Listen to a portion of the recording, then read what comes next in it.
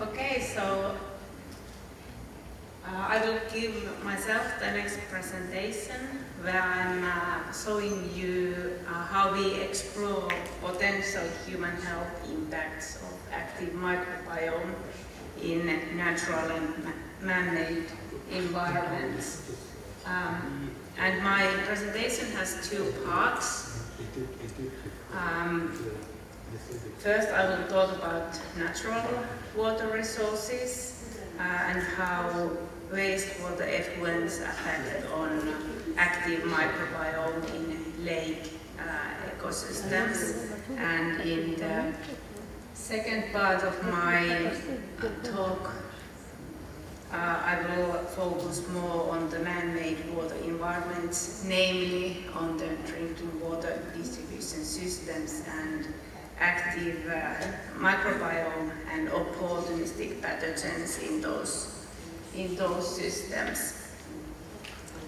Uh, but before we go to the uh, characterization of uh, microbiome in the water environments, I will show you some facts about the RNA approach method that we have uh, developed and applied um, for identification of active members of the water microbiome. Overall, in molecular microbiology, uh, it is a golden standard to analyze uh, DNA and most often it is used by, it is done by uh, quantitative PCR. And here, here we quantify active gene copies and we don't differentiate before between active, dormant or dead cells. And why the RNA approach that we developed uh, it, we take here parallel to DNA, that is the golden standard, we take also RNA fraction. And in this, uh, by this approach, we target our assays to the ribosomes of bacteria cells. And why we do that is that the ribosomes are the molecular machines in all living cells and the number of ribosomal RNA in bacteria cells, it is higher than the uh, uh, ribosomal DNA gene copy number. And the uh, interesting thing here with the ribosomes is that they actually, the ribosomal uh, RNA copy number, it varies uh, based on the activity level of the cell. And we have used this phenomenon for the uh, microbiome analyzing. So we have analyzed the active uh, bacterial fraction in water environments using the next generation sequencing uh, approach where we um, have a look on the both fractions, the um, sorry, the RNA fraction and the DNA fraction. And here, here we use the amplicon sequencing approach that is targeted to the 16S ribosomal um, RNA genes. In this pipeline, we, we produce libraries of sequences. So we have DNA library and RNA library and I will show you here as an example uh, how the different taxonomy of bacterial community in sewage and surface water, how it changes uh, between the DNA and RNA fractions in, in our uh, water samples. So here in the beginning, we have DNA fraction of sewage, and down here we have RNA fraction from the same sewage samples. And what we see, not much different.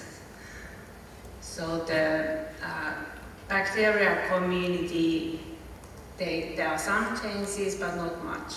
And then we have here surface water samples taken in late autumn uh, from a river in Finland. And uh, here I want you to have a look on these gray bars here in, in DNA uh, fraction. These are cyanobacterial DNA. And as you know, in late, uh, um, late uh, um, summer or autumn time, surface waters, they often suffer from cyanobacterial blooms. So, so what we see when we look at the RNA fraction in these say, same samples, here, here is the exam, exactly same samples, but RNA fraction, we see that this gray dominates the picture, dominates the bacterial community there uh, compared to the DNA. So this was an example on, on how, uh, how we can get information about the activity of our bacterial targets in, in the water samples that we are analyzing by targeting RNA um, instead only looking for the DNA, which is the current golden standard in water microbiology. Well, our next task was to um, was to study uh, sulfate-rich uh, effluents of a metal mine and how this um, sulfate um, affects on the microbial communities in lakes in Finland. Um, we studied a few years old nickel mine called Talvivaara in northern Finland and um, and this uh, nickel mine uh, produces uh, vast amounts of sulfate-rich and metal-containing effluents. And we studied several lakes uh, and um, sampled epilimnion, hypolimnion and sediment fractions from those lakes and we had a special, special interest to see if there was changes in the bacterial communities in those lakes that might have effect on human health. We made a contamination level-based grouping. Uh, we had um, uh, unspoiled uh, locations in that area. Then we had medium contaminated sites and highly contaminated sites, depending on the hydrological uh, location of the lake, depending, uh, and also the uh, situation in, in these lakes uh, nearby Talvivaara mine. Uh, when we look at the bacterial communities in those lakes, based on the next generation sequencing results, we really see clear trends that are uh, associating with the, uh, with the pollutant concentration levels. And uh, these, um, um, these pollution levels, they, they lower significantly the bacterial um, richness. So here always the first bar is unspoiled, then we have medium contaminated and highly contaminated, and the bacterial richness is always lower with those highly contaminated sites, and that is uh, true for all the hydrological fractions, and we see more changes or more drastic lower in the bacterial richness in the RNA fraction compared to the DNA fraction. And uh, as regards the um, bacterial diversity, we see also there clear trends.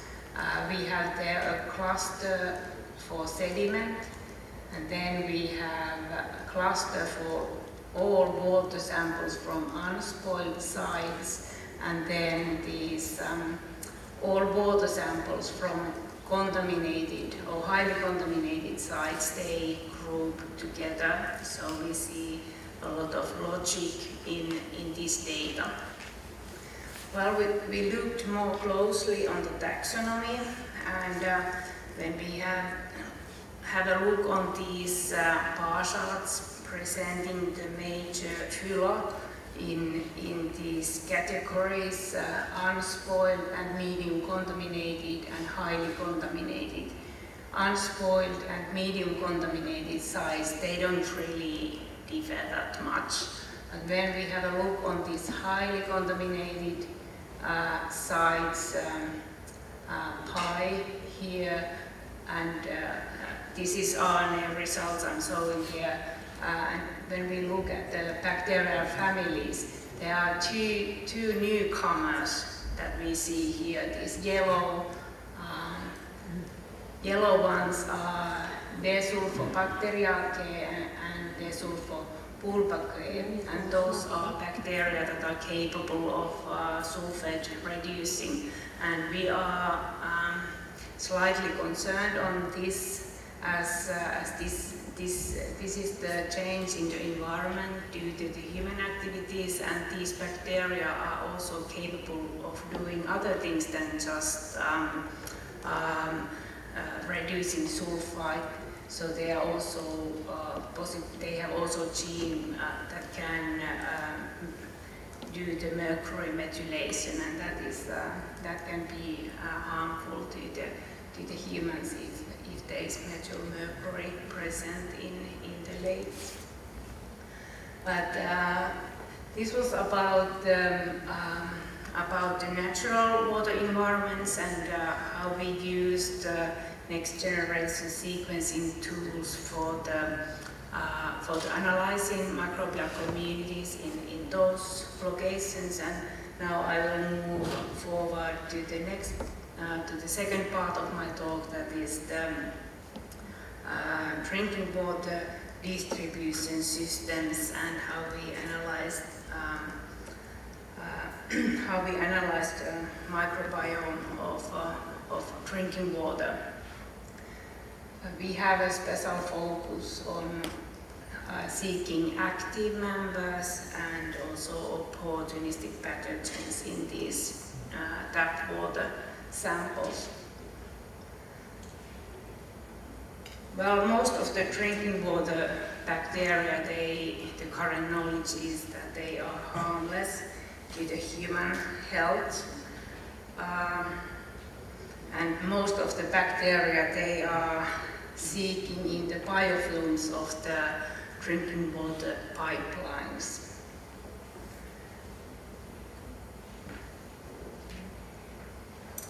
We studied five different waterworks in Finland and these waterworks were all different kind.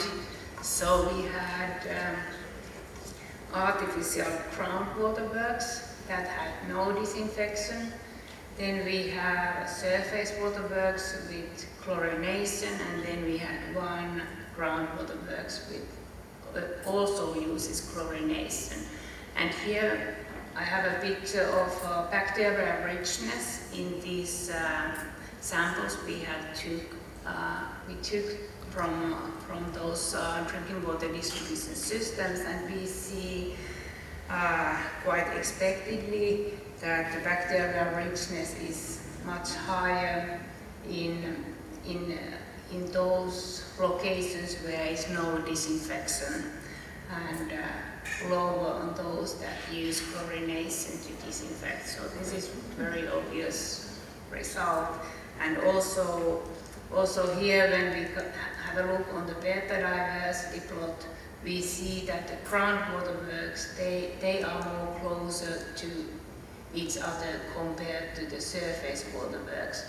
And it is actually this uh, uh, water supply type that has most effect on the um, bacterial community, not the season or, or the location of the sampling point inside the system. And when we look at the taxonomy uh, of these uh, bacteria in our water samples, we see that a lot of uh, blue color here. This is uh, beta proteobacteria, so that those are most uh, common. And then comes um, alpha proteobacteria, and especially in these uh, locations where chloramine is used for chlorination, so the disinfection chemical uh, contains this um, nitrogen compound. We see also a class called the nitrospira that has been mentioned here today also before.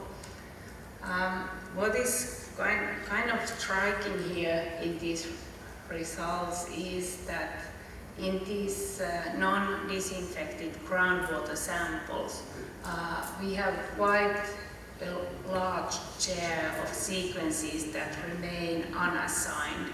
And this is a topic that needs uh, further uh, investigations that we, that we can identify who are they, who are these, these um, um, members of the bacterial community that we cannot identify so far. And it must be said that, that the bacterial taxonomy libraries that we have, that we can use for this um, uh, taxonomy classification, most of those bacteria are isolated from the chlorinated systems in North America. So, so there is not that much information of these non-disinfected systems and what kind of bacteria they have. Overall, the drinking water microbiology is quite well known, but the, here we have a gap of uh, knowledge. Um, in addition of the total bacteria community structure, we had a closer look on uh, occurrence of specific pathogens in, in these um, water systems. And uh, we found Legionella, Mycobacterium, and also Pseudomonas sequences, but uh, the abundance of those sequences were less than 1% of all bacteria. And moreover, when we did the closer uh, phylogenetic analysis of these Legionella sequences, we found that um, most of the Legionella we found from these systems, they were, it was non-pathogenic. And since the NGS, uh, meaning this next generation sequencing, it is not really quantitative method. Um, we confirmed the numbers with the qPCR and we found that the numbers of these opportunistic pathogens, they are lowest in the chlorinated uh, groundwater supply. When we have a even more closer look on the bacterial communities in tap water, we need to go inside buildings. So, so it is actually the uh, house or whatever building, hospital, inside the pipeline system that affects most on the water quality. And uh, we studied uh, a living lab Sytytin building in Rauma. And uh, what we found from there, um, the water quality is really challenging, um, challenging and it is changing in dead-end locations. So so flushing before use is very important on, in those buildings that, that has only low water usage. Uh, we found differences between the pipeline materials. There was um, um, mycobacteria were less likely detected in copper pipelines than in, in PEX pipelines and also from this building we detected um, Legionella, but also here we found that the um, Legionella uh, species was non-pathogenic to humans, what, that this was good news. Also these Legionella uh, were most probably inactive or dead because we found that only from the uh, DNA library not, and not at all from the RNA library. Um, I will skip this one uh, and go directly to the conclusions. Um, so what I showed here uh, is kind of showcasing or highlighting the current situation in water microbiology um, as we have uh, we have tre tremendous increase in our knowledge on this um, uh, on this microbiome structure and dynamics that are in, inside or in in the natural water resources and also man-made uh, water environments. And this uh, 16 ribosomal RNA-based uh, new tool, it is a promising new tool uh, to, to future risk assessments that, that are concerned uh, that are concerning uh, public health.